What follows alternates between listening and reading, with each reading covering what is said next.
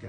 Hello there, this is Kendo Nagasaki, Peter Thornley, the man behind the mask, and I am watching Cheap Shot Entertainment this afternoon and, and this morning and tonight. Hope you all join me. Bye.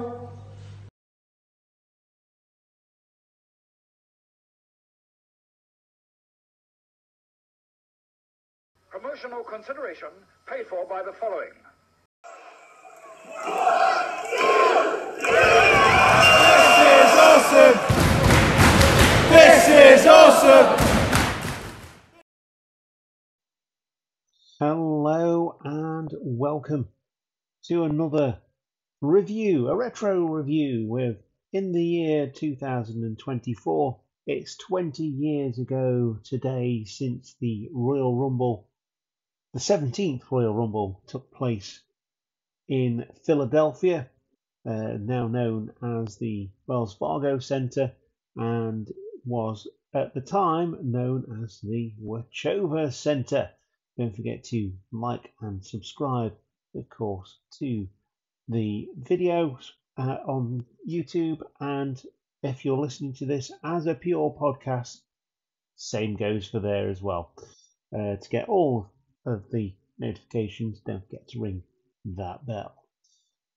So, it's a joint pay per view between Raw and SmackDown since the brand split. All of the big four are dual pay per views, and there's like a, a, a battle between the two to get the better matches, which is pretty cool because they all pull out the stops.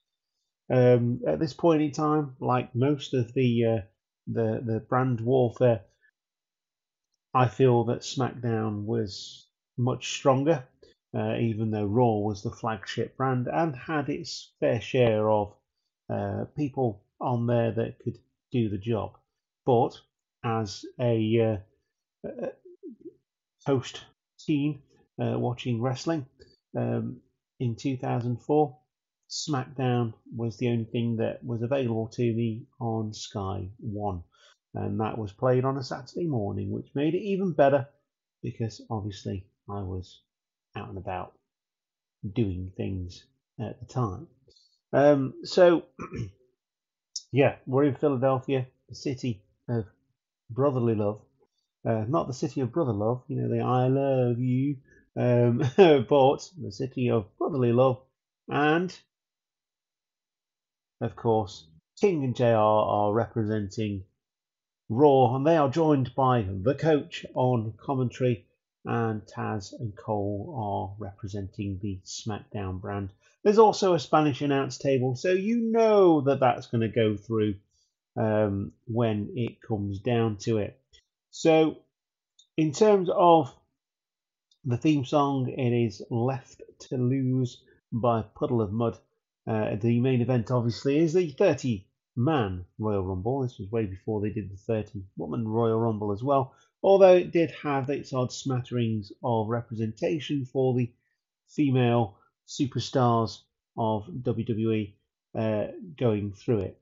Um, it features on the games WWE 2K15, WWE WrestleMania 21, WWE SmackDown vs. Raw, and WWE Day of Reckoning. So the same as we had before um, for the last pay per view of the year, which was Armageddon in 2003. Uh, a good representation of all um, things there in terms of consoles. We've got Xbox, we've got PlayStation 2, and we've got uh, um, that would have been GameCube. I would believe, I would believe, uh, Day of Reckoning, and of course 2K15, which represented all of the above. Just before we go into the main pay per view, we did have a match on Sunday Night Heat, and it was Victoria versus Molly Holly, where Victoria was victorious uh, over the uh, former champion, I would imagine, actually. Um, didn't really check that one, probably should have. Anyway, let's move into the uh, pay per view now, and we're starting with the Raw World Tag Team Championships, and it is Bubba Ray and Devon, the Dudley Boyz, uh, trying to retain, trying to regain, rather not retain, but trying to regain their championships uh, from Ric Flair and Batista of Evolution, who won those championships at Armageddon in a tag team turmoil match. Uh, the Dudleys start this one quick as they attack after Batista insults the local sports team. Insert cheap heat here. Um, it's tornado rules. Uh, Flair is attacked by um, by the table, and other uh, and after Batista saves him from going through said table. This is, of course, a tables match, which I didn't mention at the start of going through the match and giving you my ratings. Um, you've got the um, going forward. Batista is just really angry and just beats everyone up. I'm pretty sure he'd beat Ric Flair up if he if he could, if he wasn't tagging with him. Um, 3D on Batista is missed after the corner charge. Oh, after the corner charge, so they they hit the 3D. It's a 3DB officially on the games, which is like a belly to back, uh, not a belly to back suplex, a sort of lift up shoulder suplex and a neck breaker. Um, so like you're going up for a atomic drop. I can't think what that suplex is called now. Um, so back seat, we'll just call it a back suplex, and um, into the neck break, and that's a 3D B. Uh, and that's done after Batista misses a corner charge. So he's getting angry at this point, but he's making mistakes. Um, Coach comes down to the ring and distracts the Dudley Boyz. And they've been having a feud on and off for a couple of months now, where the coach was in charge of Raw and picking on the Dudley Boyz. Uh, insert heel authority figure picking on face tag team, putting them in all sorts of situations where they probably would have gotten beaten up. Um, but with the redemption being that the face team comes out on top. And then it's vintage Flair with a dive from the top as he gets cut off as well. Um, Batista comes in after pushing Devon from the top rope as he goes for the weather. And we get a spinebuster through the table to retain the championships. Um, I'm going to give this one three out of five cheap shots because basically there was that distraction by the coach. It was a good, it was a good match, really well structured um, for a tag team tables match. Uh, something that I've not really witnessed, I don't think, in person in the local uh, British indie scene. I've certainly not seen anything like that at Aspire, although we did have a three stages of hell match back in November, which was absolutely awesome. Um, and so you pick up on certain things and with this one, it was definitely the distraction. Um, but because of the tornado rules, it made sense. No one could get disqualified, etc., etc., etc. But I feel like again, given more time, it would have gotten a higher higher rating, maybe 3.5. However, you've got the Royal Rumble coming up at the end of the night, and with the pay per views usually being three hours at this point in time, um, you didn't have a lot of time for the pre matches, but they, they needed to happen. So, decent match, good opener, three out of five. Cheap shots on that one. We join Josh Matthews in the back as he is interviewing John Cena and um, he's doing all his rapping stuff. And then RVD appears and goes RVD. And then John Cena tells him to go suck his candy cane. Uh, Yep, this is rapper John Cena. Um, but it's definitely on the nose. Um, so we then move on to the second match, which is the Cruiserweight Championship, and it is Rey Mysterio who is the current reigning defending champion, versus JB Noble with Nidia, who is in a storyline where she's blind and she's using a stick and all that kind of stuff. And the storyline is that she's still uh, Jamie Noble's uh, girlfriend, but Jamie Noble keeps putting her in, in increasingly dangerous situations with uh, with how the matches are progressing. So there is two contrasting styles here. Rey Mysterio is more of a high flying uh, cruiserweight, whereas Jamie Noble is a ground and bound cruiserweight, which is very different to what the cruiserweight style um, most people think of when they when they hear cruiserweight. Um, this is a crazy fast start to this match. It is, um, like I say, contrast the two styles. Rey Mysterio is trying to jump off everything and bounce everywhere, whereas Jamie Noble's trying to stop him and ground him and take him to the mat. Um, it would be uh, Nidia uh, tripping Noble um, because obviously she can't see. That's that's the whole idea here. She is blind, and uh, she trips Noble, and Mysterio retains with the six one nine and springboard leg drop after that. So um, obviously he's distracted. Rey Mysterio gets the drop kick, six one nine, set uh, springboard leg drop, and Mysterio retains. Um, again. I'm going to give this two cheap shots, cheap shots out of five because um, I feel like it could have been much better. It had a really good start, it had really good structure, but they were only given a certain amount of time. I get it. Um, Cruiserweight Championship was very much an under undercard, but I will say this, and I've said this before on the podcast, that the Cruiserweights at this time had some of the best storylines and the best matches on the card and it could have been given just that little tiny bit longer. Um, and again, I've said, you know, this one had potential, but it wasn't given the time to fully realise that. Um, we move on again um, to the next match. It is a family feud. It is the Guerreros going one on one. Chavo Jr. with Chavo Sr., who is Eddie Guerrero's brother in in real life, not in kayfabe, um, and um, their tag team has imploded. Um, they were really good. They were really popular.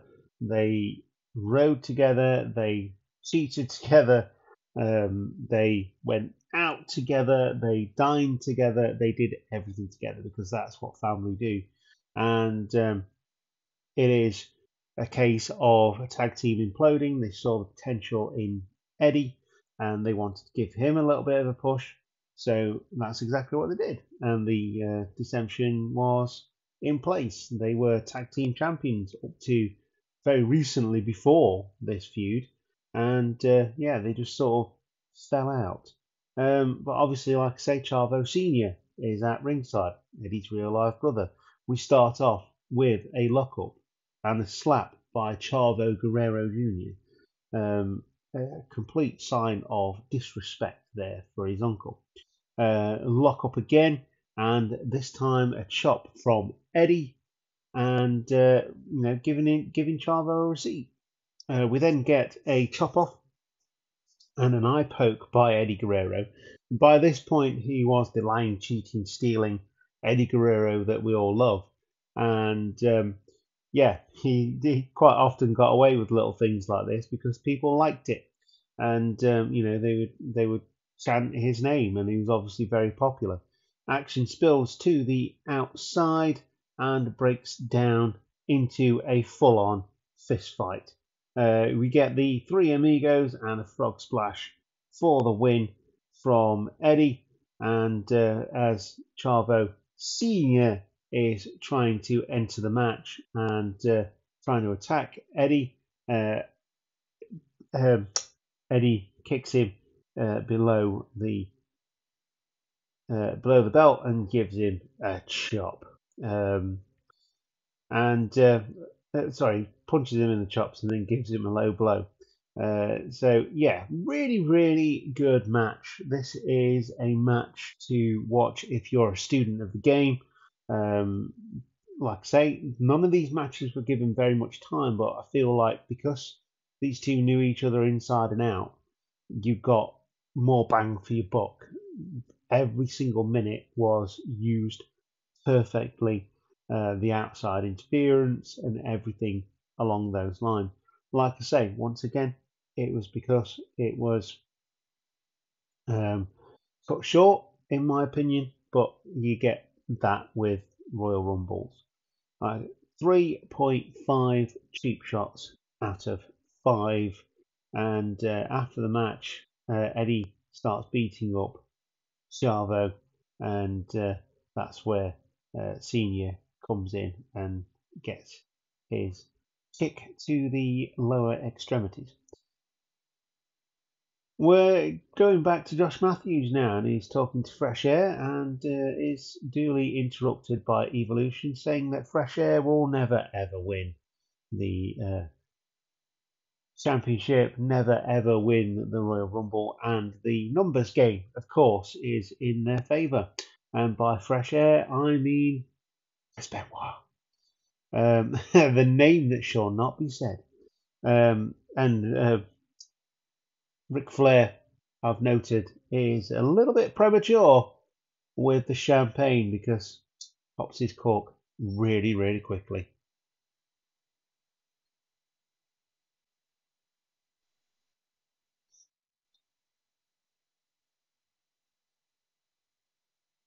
Right, so your next match is for the WWE Championship, which is exclusive to SmackDown at this point in time owing to Stephanie McMahon, McMahon signing Brock Lesnar exclusively to the blue brand. This match does have a quite a hefty backstory to it, in that Hardcore Holly was going against Brock Lesnar, and Brock Lesnar would lift Holly up for a power bomb and drop him right on his neck, breaking his neck. Uh, and that is an actual injury that Hardcore Holly suffered uh, the hands of Brock Lesnar. So this one is the redemption story. Can Hardcore Holly win the championship? Can he overcome the man who broke his neck? of course, Hardcore Holly is no stranger to hard hitting competition, and he gets that with Brock Lesnar absolutely positively.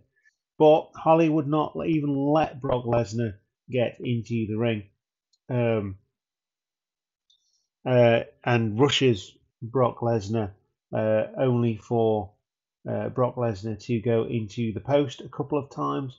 Um, after a little bit of brawling on the outside, bearing in mind the ring bell hasn't even been rung yet, uh, Brock Lesnar would get back on top with a suplex, uh, and Brock Lesnar would be back in control fairly quickly with this one. Uh, it would be Lesnar that slows it down now with a bear hug and grapevines the leg. So Hardcore Holly has very little chance of escaping this. We do get some chance of boring here um, from the crowd who don't appreciate the mat wrestling style of Brock Lesnar, and that would obviously lead to other things later in the year. Um, we get a compact fisherman's buster from Brock Lesnar, which is absolutely beautiful. What a move! And um, goes back to the ribs and uh, into an overhead belly to belly suplex with a butterfly grip, um, which is the double underhook, and uh, that is pretty darn cool. Um, so Uh, Brock, uh, sorry, break out by Hardcore Holly, and uh, he goes into a full Nelson. Both roll out of the ring and then come back into the ring. Um, obviously, the roll out of the ring is to break the hold. Uh, it is Brock Lesnar with the butterfly lock, and um, uh, both get back in the ring. It would be an F5 from Brock Lesnar and a spirited performance and uh, spirited fight from Hardcore Holly, but ultimately the power game of the young champion would come into play here. F5 for the win. Um, and like I said, Hardcore Holly giving Brock a very tough match. I've given this one 2.5 cheap shots out of 5 because it was done at the spare of a moment, on the spur of the moment, but also it did tell a, a good story. Um, ultimately, the contrast of styles, and I still feel like um, Hardcore Holly was being protected a little bit here, as, as they should. All wrestlers should be a little bit protected, especially coming back off an injury. But uh, yeah, uh, thoroughly entertaining. Again, probably wasn't given enough time, but they did enough with the experience um, that they both have to make the match interesting. We move on to the World Heavyweight Championship now, which is exclusively on Raw. And to bring you up to speed, that was reintroduced when Stephanie McMahon signed Brock Lesnar exclusively to SmackDown with the WWE Undisputed Championship. He, Eric Bischoff brought back the big gold belt, and that is when Triple H won it. And that would have been around about two years before this, um, with uh, like I say, Eric Bischoff taking over Raw and bringing back the big gold belt, which he was so synonymous with um, back on WCW. This is your second match with uh, stipulation, and it is a last man standing match, making sure that Triple H can't weasel his way out, he can't cheat to win, and it has to be a full on match. Um, there would be some claret during this match. Um, and we get a hellacious start. We get one of the best starts to a match that I've ever seen, actually, um, because, like I say, it is a last man standing match. They could go straight for chairs. They could go straight for the big heavy hitters, hitting um, foreign objects, um, and uh, they don't they go straight into a lockup. There's some good chain wrestling here, and I would again encourage any aspiring uh, wrestling student to have a look at this because you wonder why you do all the basics in training. Well, this is why. Even Triple H and Shawn Michaels can put on a good match, starting with the basics: the lockup, the armbar, the um, hammerlock, the headlock, the you know um, whatever it is, wrist wrist lock, um, and they can do all that, and it'll still be entertaining. Like I say, one of the best starts um, to a match that I've seen for for a long time. They kind of we kind of lose touch with those basics these days, um, including you know like I'll say this and I'll say this out loud. The effectiveness of a super kick has now been just watered down to the extent where I don't even go, oh, look, there's a super kick. Uh, but again, these are the basics. Why not start up with? Why not start with a lockup when you get into a match? And it's something that British wrestling does quite well, actually, um, with the lockups, because this is how we this is how we how we train. Um, and after a hellacious match, uh, it has blood, it has table. So you know the Spanish announce table that I mentioned? Yep. it gets broken during this match. Um, blood, tables, chairs. We've got super kicks in there as well. Um, and, and neither could answer the count of 10 after a basically what was a rocky finish and a double count out. Uh, Triple H retains the championship via count out. If, he, if they both lose, Triple H retains the championship. Also makes Shawn Michaels look very strong in this one because both are completely knocked out. And it, you know, the super kick and uh, I think it's possibly the hammer at the same time. I don't know how um, that even works, but they made it work. And uh, both end up leaving on stretchers. But Michaels um, as uh, JR would put it, the crazy SOB uh, would demand to walk out of the arena himself. Uh, both get a rousing round of applause and a lot of respect from the crowd.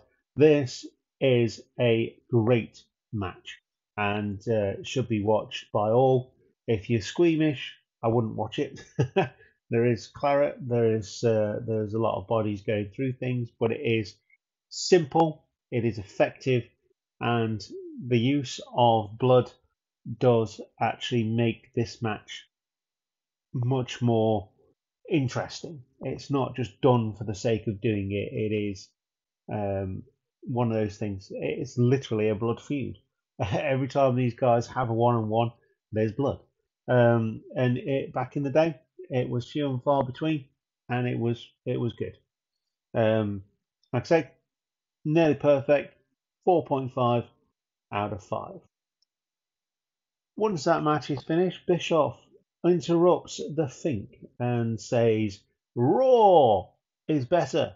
Heyman enters, followed by Stone Cold Steve Austin on a quad, and gives stunners all round. Of course, Heyman thinks that SmackDown is better. He is the current uh, general manager of SmackDown. After all these hijinks, Terry talks to Goldberg and he says he's got to win the Royal Rumble. He's going in at number 30. He's got a good chance. Uh, and he's interrupted by Brock Lesnar, uh, who who Goldberg scares by saying, "Hey, look behind you. Is that hardcore, hardcore Holly?"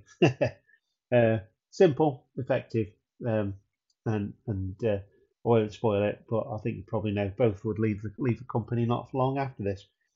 Um, and then it's now time for the Royal Rumble. And for the first time at the end of January, in fact, it will be tomorrow as we're thinking about it.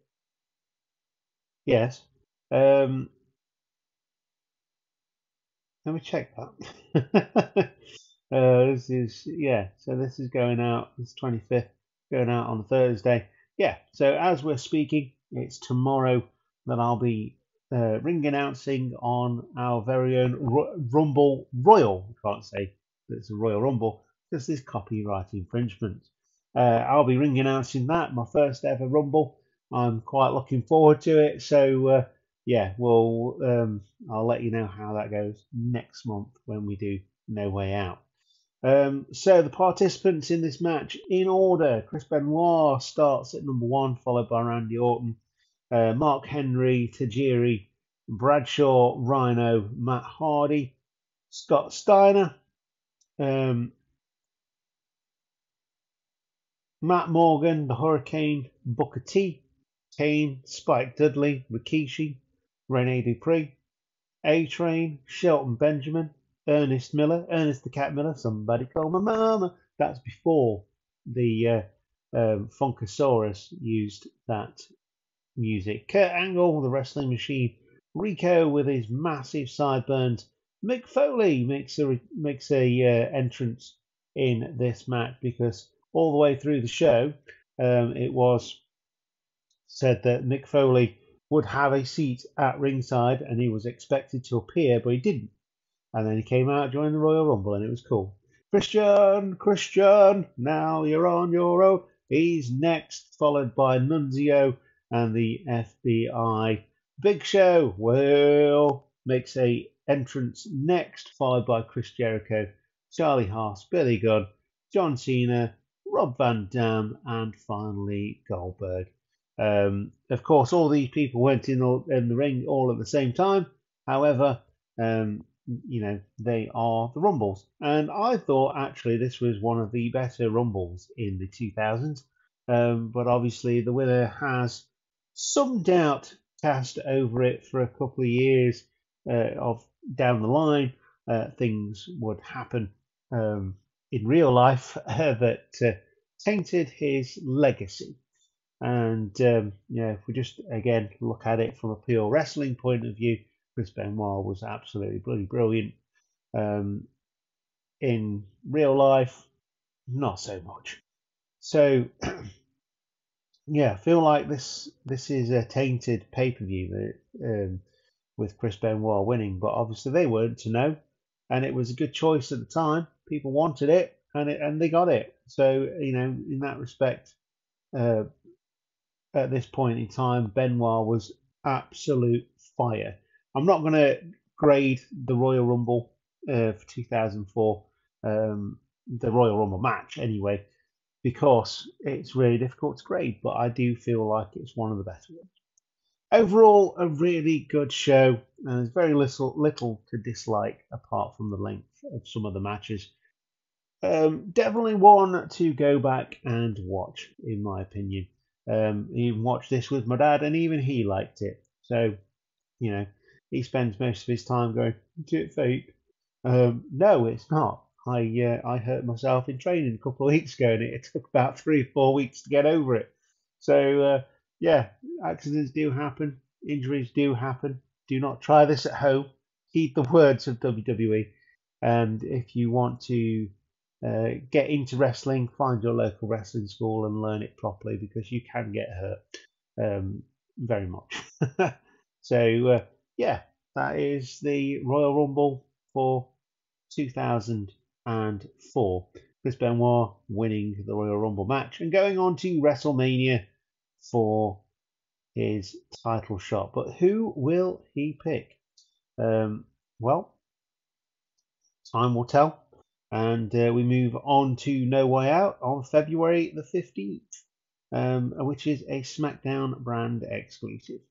So we'll um, we'll see you then. Uh, thank you very much for watching the video podcast, listening to the podcast, however you join us. We're grateful for every single one of you. You are the Cheap Shot Nation. I have been your host, Luke. This has been Talk is Cheap for the Retro Reviews. Goodbye.